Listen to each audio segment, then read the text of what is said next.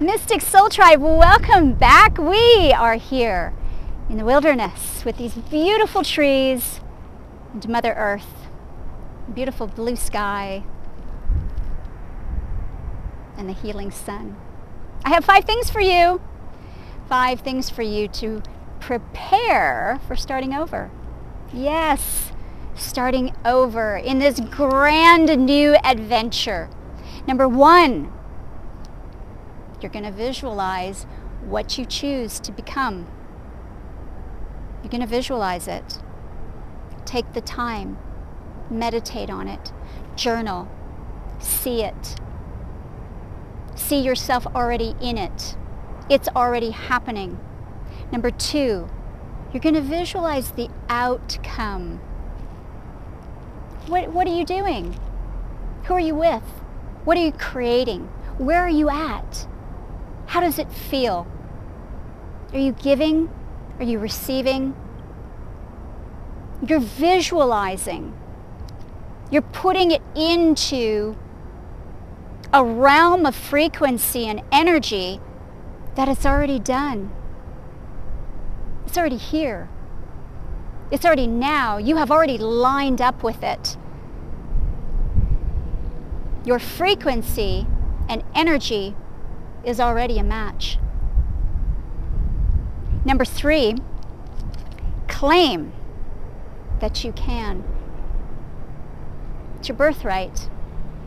You came here to live the life that you envision for yourself. It's your right. Number four, know that you are the boss. You are the boss. No one else. You. You're the boss of this body. You're the boss of this mind. You're the boss of this spirit. Number five, you're going to own your mastery. You own it.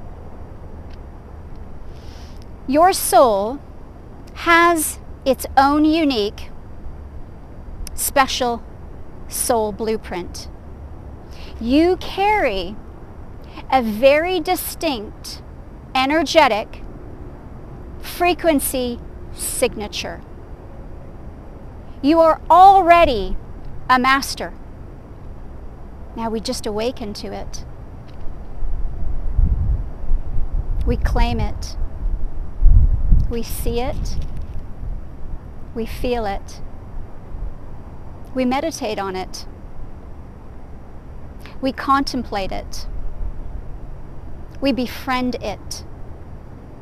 We invite it in. We receive. We open ourselves to receive. Five things to think about as you prepare for this new adventure. You're starting over. We are all starting over. So here at Mystic Soul, Mystic Soul Tribe, we strengthen our bodies, we open our minds, and we awaken our spirit. I love you.